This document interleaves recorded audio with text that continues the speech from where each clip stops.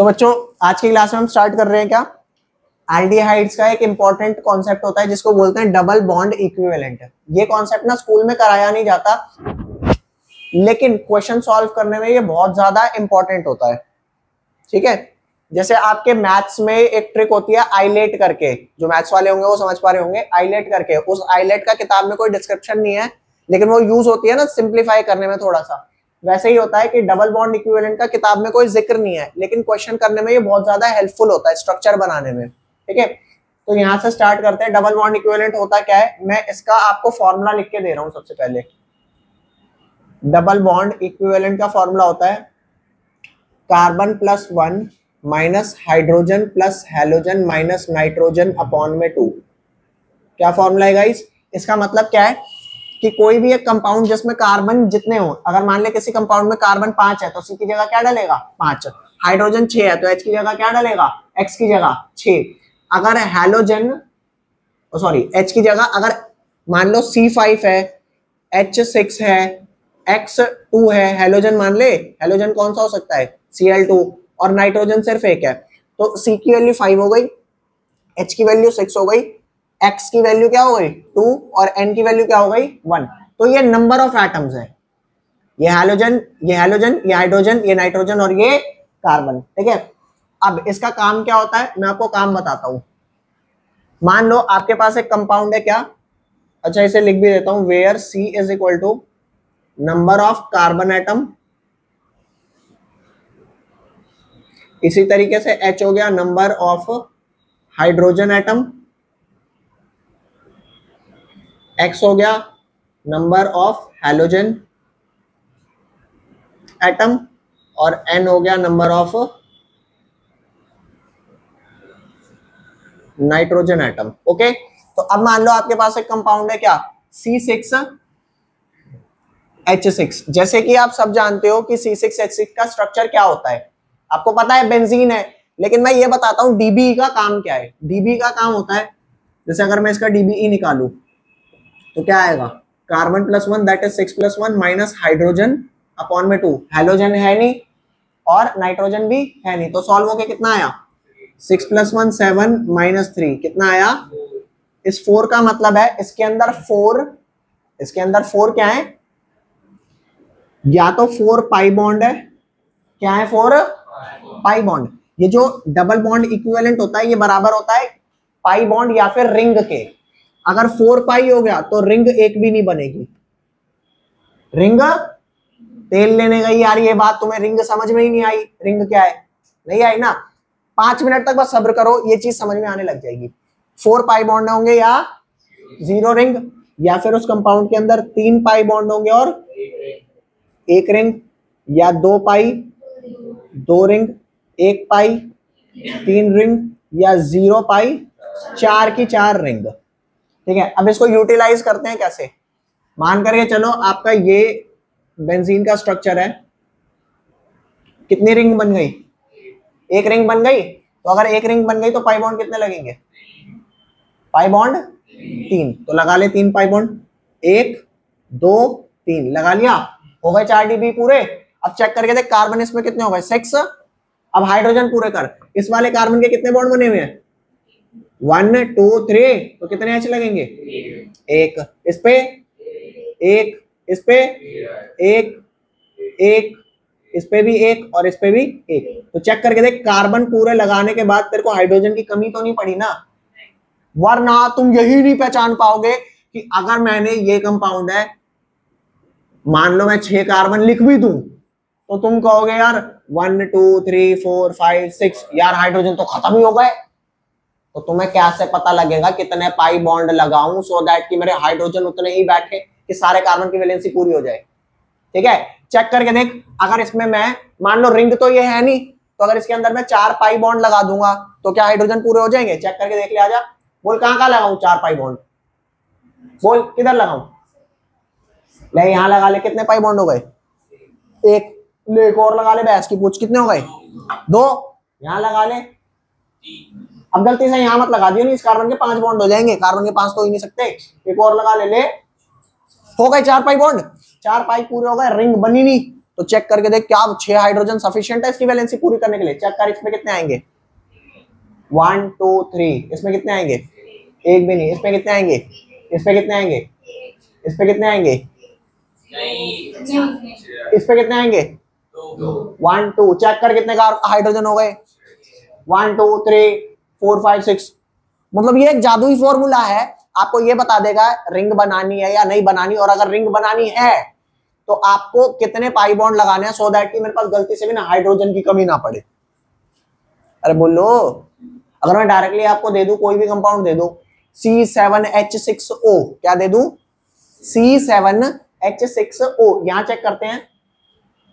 C seven H six O two मान लो ये मैंने दे दिया। C seven H six O two अब मैं कहूँ, बना दे इसका स्ट्रक्चर तू कहेगा, यार, क्या बनाऊँ? रिंग बनाऊँ या सिंगल बनाऊँ? और दो कहा? ओ लगाऊँ? तो यहाँ ध्यान दे, इसका डीबीई e निकाल। इसका डीबीई e निकालेंगे। चेक करना, यहाँ कहीं ऑक्सीजन तो नहीं आया था ना? So do not consider oxygen निकाल डीबी कार्बन कितने हैं? सात। सात प्लस एक माइनस हाइड्रोजन कितने हैं? छ बाय दो तो ये कितना आया? आठ माइनस तीन। क्या आया भैया? फाइव और एक बात याद रखना, जब भी आपका चार या चार से ज़्यादा डीबीई आए तो वहाँ एक बेंजीन रिंग बना दो। कितनी डीबी यूज़ हो जाएगी? चार। कितनी यूज़ हो जाएगी? चार। क्यों चार यूज़ हो गई? क्योंकि एक रिंग हो गई और तीन। तो पाँच डीबी आया है, अगर तू ये बेंजीन बना देता है तो कितने यूज़ हो गए? चार यूज़ हो गए। अब यहाँ ध्यान दे। यहाँ बना।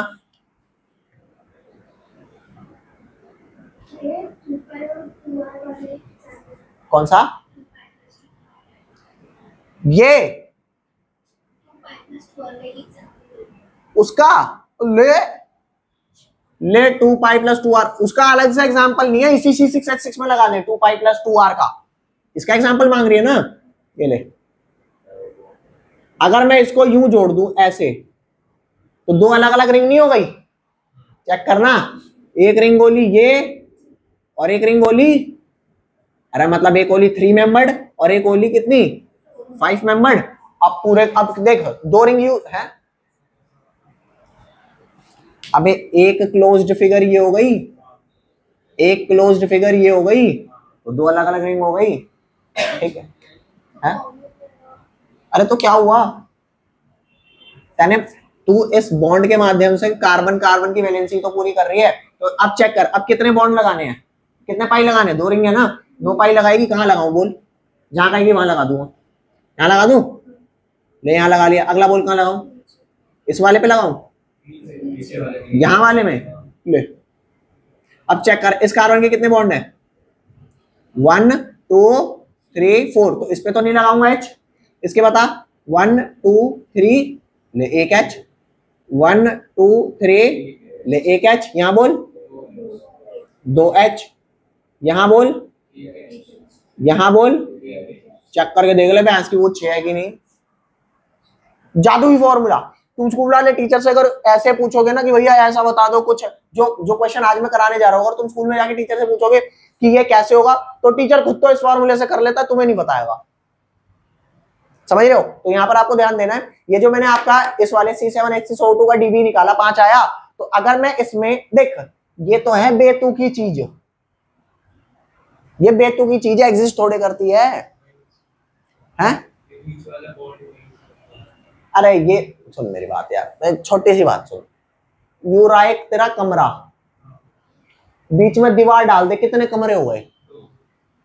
वो बात अलग है छोटे छोटे हो गए। तो जो तेरी एक साइक्लिक रिंग थी, अगर बीच से यहाँ से जोड़ दूँगा तो अब कितनी हो गई वो? बस। समझ रहा है? ये है मामला।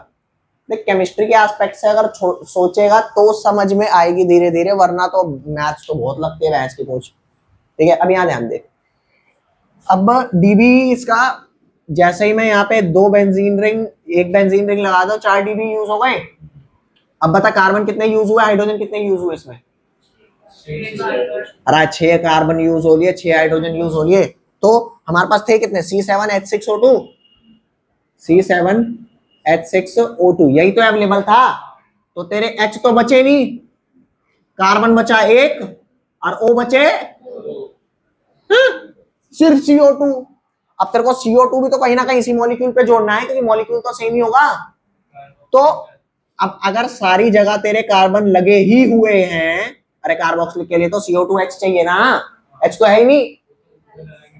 हाँ तो जिधर तू सीओ टू एच लगाएगा ना, उधर वेकेंसी तो क्रिएट करेगा। तो वेकेंसी डालते ही इधर एक एच बच गया तेरा। तो अब लगा दे यहाँ पे सीओ एच चेक करके देख ले भैंस की पूछ। वैलेंसी भी सारी पूरी और तेरे एटम भी सारे पूरे पड़ गए। समझा नहीं समझा? अब इस वाले फॉर्मूले को मैं यूज़ करवाने जा रहा हूँ आज के क्वेश्चंस में। ये क्वेश्चन जो आपके होते हैं, ये टिपिकल लेवल के होते हैं, जो एलडीआईड में सबसे मुश्किल काउंट होते हैं, ठीक है? आप ये फटाफट लिख लो एक बार। हाँ देख, ये पाई बॉन्ड तीन हो गए, एक पाई बॉन्ड चौथा हो गया, और एक ये रिंग हो गई टोटल पाँच डीबी यूज़ हो गए। समझ गए? इसको लिख लो, फिर आगे क्वेश्चन करा रहा हूँ कॉन्सेप्ट ये हो गया। चलो बच्चों, अगला क्वेश्चन स्टार्ट करते हैं हम, इस टॉपिक पे बेस्ड yes. आपकी बैक एक्सरसाइज का क्वेश्चन नंबर टेन है। तो यहाँ पे लिख देते हैं क्या? Yeah. हाँ। मतलब? ये सब जुगाड़ जो अभी बता रहा हूँ क्या रफ में करना है वो मैं बताता हूँ। बैक एक्सरसाइज का आपका क्वेश्चन नंबर है टेंथ ठीक है? ये क्वेश्चन क्या कहता है? ध्यान से देखना। कह रहा है ऑर्गेनिक कंपाउंड है with molecular formula C nine H ten O molecular formula compound का क्या है? C nine H ten O ये जो इन्होंने क्या रखा है? C nine H ten O ये फॉर्म करता है टू फोर डीएनपी डेरिवेटिव ये क्या फॉर्म कर रहा है? Two comma four D N P derivative two comma four D N P derivative बहुत तसल्ली से देखता जाए, इन्होंने इंफॉर्मेशन क्या क्या दे रखी है? टू फोर डीएनपी डेरिवेटिव पहली चीज़ बताई इन्होंने करता है। उसके बाद करता है रिड्यूस करता है टॉलेंस रिएजेंट को। यहाँ पे लिखेंगे रिड्यूसेस टॉलेंस रिएजेंट पहले लिख लेते हैं फिर उसके बाद आइडेंटिफाई करेंगे कि कौन सी रिएक्शन क्या चीज़ हमारे को आ, क्या चीज़ हमको आ, पता नहीं क्या यार। जो हमारे को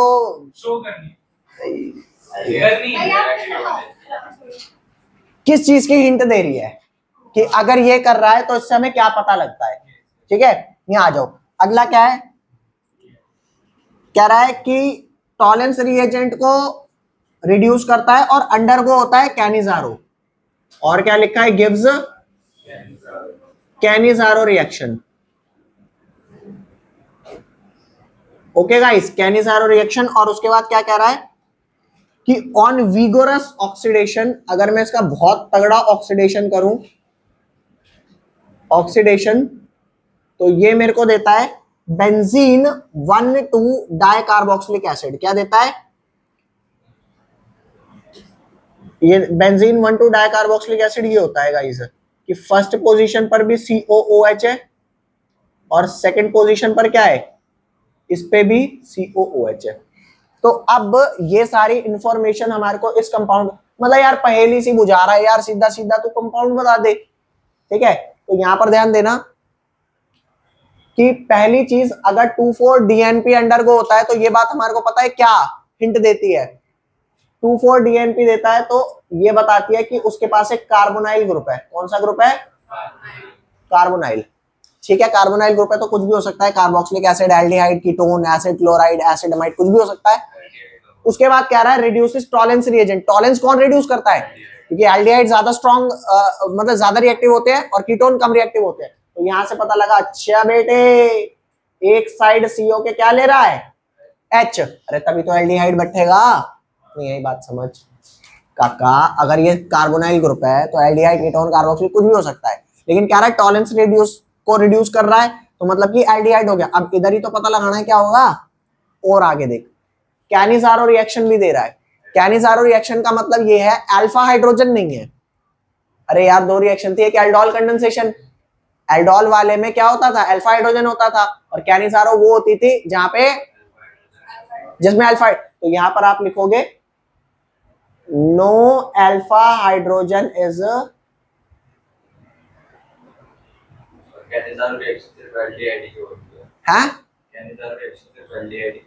Who said? इसकी करियो भाई क्या नहीं सारो?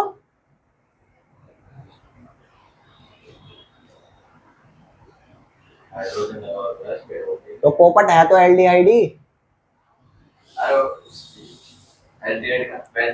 अब चिल कर। हाँ ये बोल बेंजल बेंजल्डिहाइड मतलब यहाँ पे क्राइटेरिया क्या है? अल्फ़ा हाइड्रोजन नहीं चाहिए ना? अगर अल्फ़ा हाइड्रोजन होगा तो हो जाएगा। तो वो कौन सा अभी यहाँ चेक करते हैं तसल्ली से। नो अल्फ़ा हाइड्रोजन और बाकी बेंजीन डाइकार्बोक्सिलिक एसिड दे रहा है। चलो ठीक है, अब मैं क्या ही बोलूँ उसके बारे में तो ज़्यादा कुछ समझ नहीं आ रहा।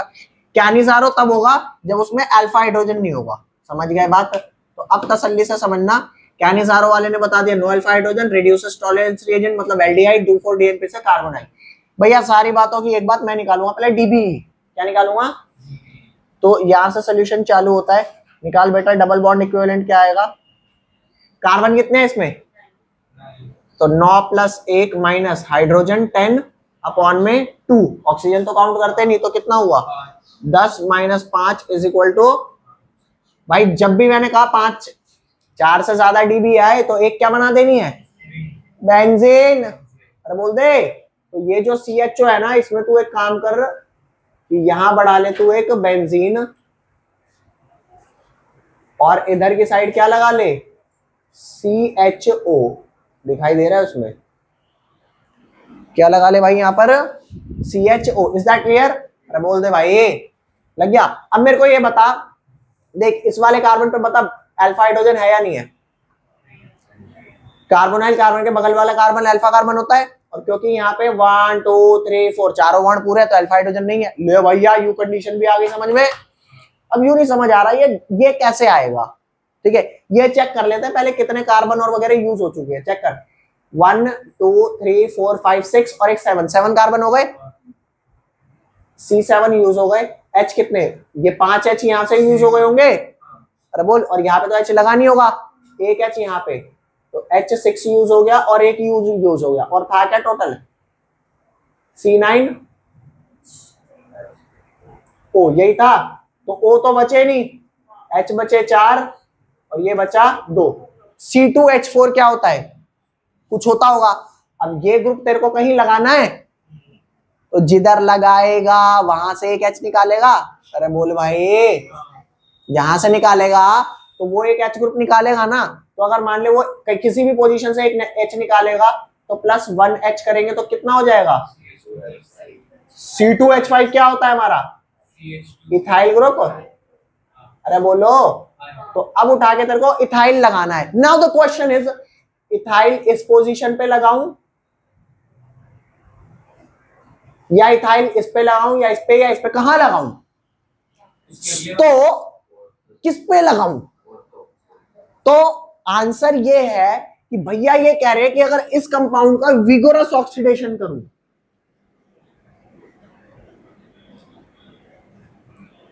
विगोरस ऑक्सीडेशन का मतलब होता है हाईली ऑक्सीडाइज ग्रुप में बस कन्वर्ट कर दे। तो यहाँ पे अगर तेरा लगा होगा C S two C S three तो विगोरस ऑक्सीडेशन में ये कन्वर्ट हो जाएगा सीओएच में और ये भी कन्वर्ट हो जाएगा सीओएच में। अबे वो रिएक्शन करी थी ना, जिसमें चाहे कोई सा भी अल्काइल ग्रुप लगाओ, किसमें कन्वर्ट हो जाता है? सी डबल ओ एच में। तो ले, कहीं ना कहीं तेरा यही वाला फॉर्मूला हो गया। यही बात समझ। काका, अगर तू ये ना बना के सपोज़ ये बना देता कि यहाँ से हटा करके इधर लगा दे C S two C S three तो विगरस ऑक्सीडेशन पे बेंजीन वन टू डायकार्बोक्सिलिक नहीं बेंजीन वन थ्री डायकार्बोक्सिलिक मिलेगा। लेकिन हमारे को क्या चाहिए? इसलिए यहाँ नहीं लगाएँगे, कहाँ लगाएँगे? ये समझ में आई? अरे बोलो, आप इस वाली इंफॉर्मेशन को लिखो, फिर मैं ये सारी रिएक्शन आपको लिख करके दिखा रहा हूँ। चलो भाई अब सारे रिएक्शन में आपको यहाँ पे इसकी एक एक करके लिख देता हूँ। टू फोर डीएनपी के साथ क्या रिएक्शन होगी, ये ध्यान दो। जो कार्बोनाइल कंपाउंड होता है, उसे यहाँ ऐसे करके लिख दू।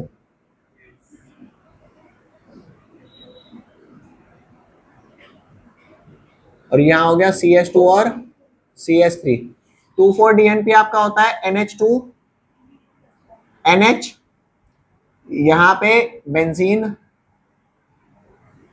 इधर NO2 और इधर NO2 होगा क्या? वाटर मॉलिक्यूल रिमूव होगा यहाँ से।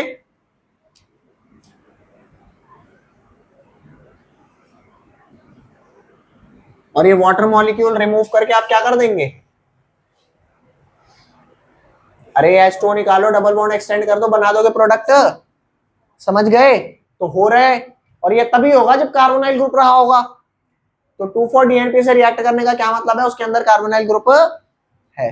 अब reduces Tollens reagent Tollens reagent के साथ कैसे रिएक्शन देगा? सेकंड रिएक्शन लिखो। आप यही वाला कंपाउंड रीमेक कर दो। सी डबल ओ एच और यहाँ पे C H two C H three Tollens reagent में आपका डलता है।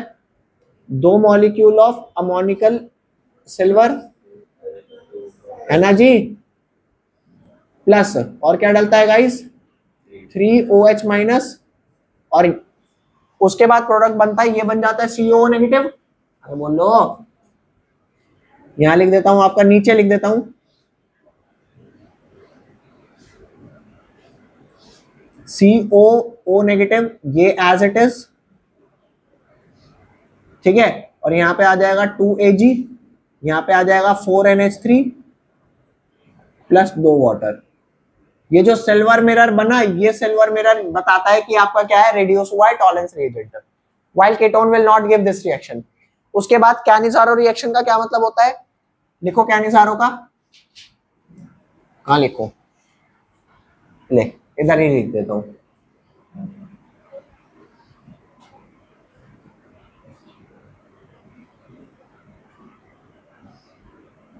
इसको C2H5 लिख देता हूँ CH2CH3 की जगह, ठीक है?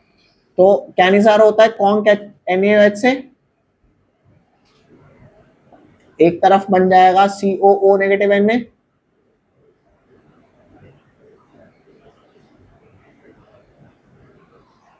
मतलब ऐसे पूछना तो नहीं चाहिए, लेकिन फिर भी पूछ रहा हूँ, कुछ समझ में आ रहा है?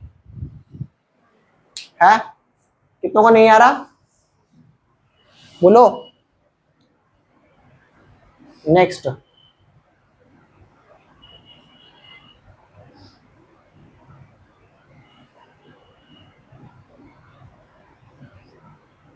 और यहाँ पर C2H5 और लास्ट रिएक्शन जिसमें ये वाला किसमें कन्वर्ट हो जाएगा आपका? Benzene one two dicarboxylic acid ये यहाँ पे लिख देता हूँ reaction C double O H यहाँ पे C H two C H three vigorous oxidation का रिएजेंट क्या होता है? K M N O four plus K O H first में, और सेकंड में डलेगा एच प्लस तो ये किसमें कन्वर्ट हो जाएगा? ये भी सी ओ एच हो जाएगा।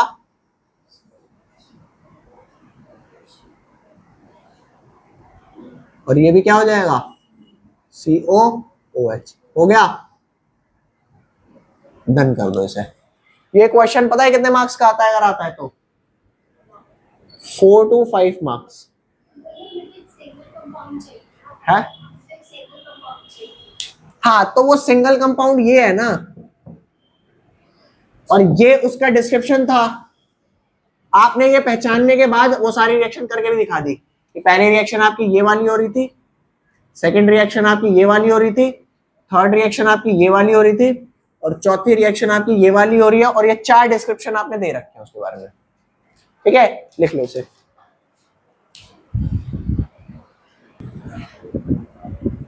नेक्स्ट क्वेश्चन क्या रहा है बच्चों? क्या? इलेवेंथ क्वेश्चन क्या रहा है?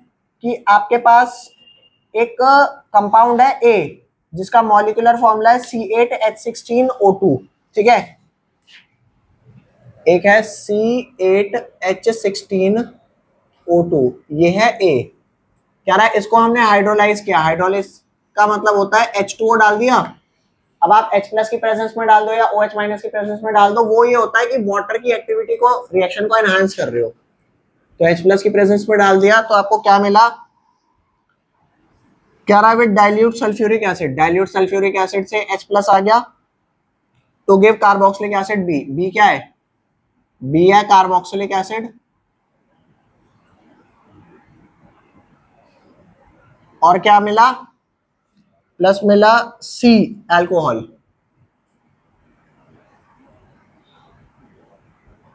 आपसे एक छोटा सा क्वेश्चन वो कौन सी चीज़ है जिसको हाइड्रोलाइज करने पे कार्बोक्सिलिक और अल्कोहल मिलती है?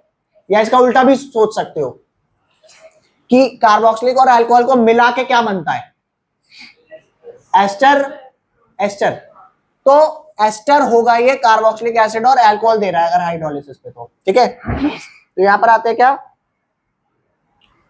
कि ऑक्सीडेशन ऑफ़ सी ये जो सी है ना सी अल्कोहल अगर मैं इसका ऑक्सीडेशन करता हूँ। With chromic acid produces B अगर इस सी को मैं ऑक्सीडाइज करता हूँ तो ये बी देता है। यहाँ पे लिखा मैंने chromic oxide chromic acid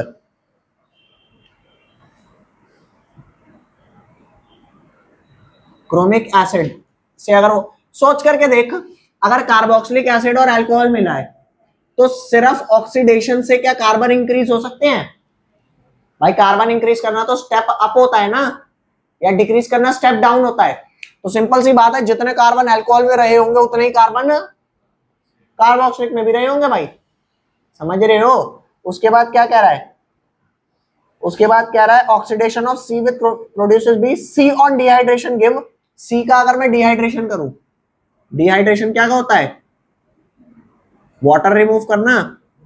सी का अगर डिहाइड्रेशन करे मतलब वाटर रिमूव करें तो क्या मिलता है इससे? ब्यूट वन इन ब्यूट वन इन यही होता है guys C H two C H three तो सोच करके देख काका, यहाँ पे जितने कार्बन होंगे उतने ही यहाँ होंगे, और यहाँ जितने कार्बन थे डिहाइड्रेट करके उतने ही कार्बन आए। मतलब यहाँ पे चार कार्बन है एल्कोहल में। तो कार्बोक्सिलिक में भी चार होंगे। तो अब यहाँ ध्यान दे, सबसे पहले इसका डीबीई निकाल ले। डीबीई क्या आ रहा है इसका? चेक कर भाई। एट कार भाई फॉर्मूला क्या है? Carbon plus one minus hydrogen plus halogen minus nitrogen by two तो हेलोजन नाइट्रोजन पता है हेलोजन नाइट्रोजन वाले क्वेश्चन अभी बाद में आएँगे। ठीक है, फ़िलहाल यहाँ ध्यान दो। कार्बन आठ प्लस एक माइनस सोलह ऑक्सीजन काउंट नहीं होता। तो कितना आया? नौ माइनस आठ वन तो वन डीबी का मतलब है, या तो एक रिंग ले ले। अरे बोल दे। ज़ीरो पाई या फिर एक पाई बॉन्ड ले ले और ज़ीरो तो सोच करके देख, अगर तू ये कह रहा है कि कार्बोक्सिलिक और अल्कोहल मिल रहा है तो मैं इसे एस्टर बोलू? अरे बोल। और एस्टर ग्रुप कौन सा होता है? R C double O O R, यही होता है। और सोच करके देखना, ये वाला पार्ट अल्कोहल बन जाता है, ये वाला पार्ट कार्बोक्सिलिक तो दोनों तरफ़ बराबर बराबर कार्बन चाहिए। तो सी सी सी सी सी सी सी सी टोटल कितने कार्बन है मेरे पास? आठ है ना? तो बीच में बस तेरे को क्या करना है, ये हटा के डबल बॉन्ड ओ लगा देना है। क्या लगा देना है? डबल बॉन्ड ओ अब तुम्हारे दिमाग में क्वेश्चन आएगा, ब्यास की पूछता ने बीच में ही क्यों लगाया? अरे दूसरे इसे उठा करके थर्ड कार्बन के बाद लगा लेता। समझ रहे हो? बीच में लगाने का मकसद ये था कि अगर मैं इसको हाइड्रोलाइज सपोज़ करता हूँ H2O प्लस के साथ तो ये वाला पार्ट कार्बोक्सिलिक बन जाएगा। अरे ये वाला पार्ट क्या बन जाएगा? और ये वाला पार्ट क्या बन जाएगा? अल्कोहल तो बन गया C H three C H two C H two C O O H और वो क्या बन जाएगा? C H three C H two C H two C H two O H तो ये तरह क्या हुआ? जितने कार्बन का कार्बोक्सिलिक है उतने ही कार्बन का क्या है?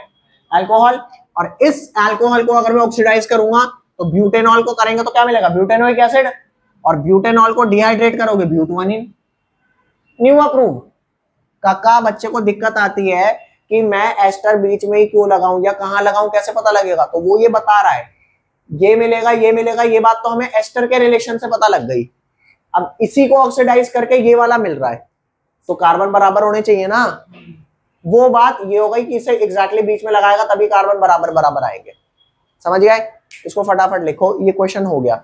ये भी क्वेश्चन कम से कम दो से थ्री मार्क का तो बैठता ही बैठता है। ये करो, एक क्वेश्चन और दे रहा हूँ।